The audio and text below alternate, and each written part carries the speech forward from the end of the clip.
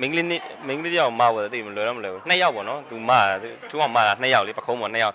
အဲအဲ့တော့ဟိုကျွန်တော်အဲ့လိုအဲ့လိုမနိုင်သေးဘူးဟာ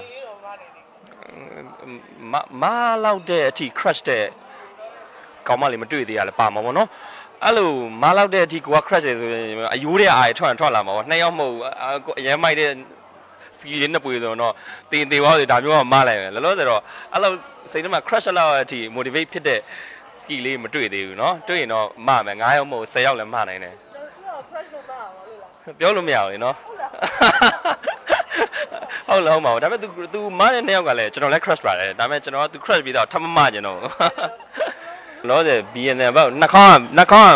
ကကဘာနဲ့နဲ့ပတ်တယ် BNN ဘက်ရောက်နေကျွန်တော် Instagram ဝင်ကြည့်လိုက် BNN ဆိုလေးကျွန်တော်အကုန် follow ရတယ် သူတို့မမယ်ဆိုတော့တင်သေးပါအောက်ပိုင်းတင်သေးပါမမှာဟာမရှောက်မရှောက်ဟုတ်ဟုတ်ဟုတ်ဟုတ်တယ်သူတို့ဘက်က fitness fitness ကလေးအရန်မိုက်တယ်အစားအသောက်တွေစစင်းတကြစားတယ်သူတို့ရဲ့ခန္ဓာကိုယ်ထိမ့်သိမ့်တယ်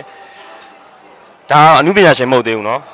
သူတို့နိုင်ငံအမှုပညာရှင်မဟုတ်သေးဘူးခန္ဓာကိုယ်ဘယ်လောက်ထိအရေးပါလဲ GU site လဲဆိုတာအဲ့အတွက်ကြောင့်မလို့သူတို့လေးလေးလေးစားတယ်ကျွန်တော်မြန်မာနိုင်ငံမှာလည်းအဲ့လိုဂျင်ကစားစေခြင်းနဲ့အမှုပညာရှင်တွေနဲ့ခန္ဓာကိုယ်ထိမ့်သိမ့်စေခြင်းနဲ့